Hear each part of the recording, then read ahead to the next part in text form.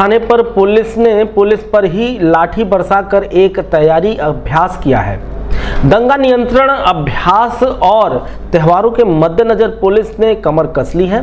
तिवारीपुर थानाध्यक्ष सत्यप्रकाश सिंह ने अपने पुलिसकर्मियों को दंगा नियंत्रण के तहत तैयारी कराया, जिसमें उनके ट्रेनिंग को परखा गया और उनकी कमियों को दूर कराते हुए उन्होंने आवश्यक निर्देश दिए और उन्हें सिखाया कि किस प्रकार से दंगे में प्रहार खुद पर होने पर बचाते हुए दंगाइयों से कैसे निपटा जाए। उन्होंने ये भी कहा कि दंगाई हमारे ही समाज का हिस्सा है, वो हमारे दुश्मन नहीं है। बस बहके हुए कुछ लोग हैं, उन्हें इस तरीके से प्रहार करना चाहिए कि उनकी जान को खतरा ना हो और बस उन्हें कंट्रोल किया जा सके।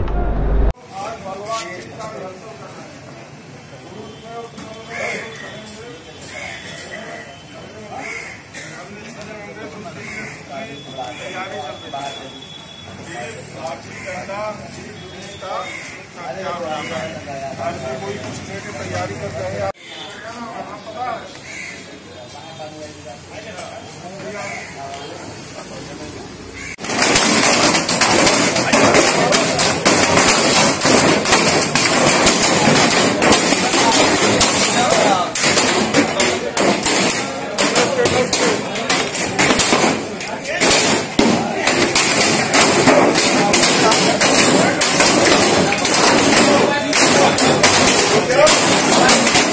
आज कप्तान साहब द्वारा सभी थानों और चौकियों को ये निर्देश दिया गया है। शहर और गाँव के सभी थाना, ग्रामीण क्षेत्रों के सभी थाना और चौकियों को ये निर्देश दिया गया है कि अपने अपने यहाँ ये राइड कंट्रोल इक्विपमेंट और राइड कंट्रोल ड्रिल ये सबकी प्रैक्टिस कर लें आने वाले त्योहारों को मद्देनज़र ताकि किसी प्रकार की अगर विपरीत परिस्थिति उत्पन्न होती है तो पुलिस उसके लिए तैयार है। पहले से इनको ट्रेनिंग दी जाती दी जाती है पुलिस कर्मियों को।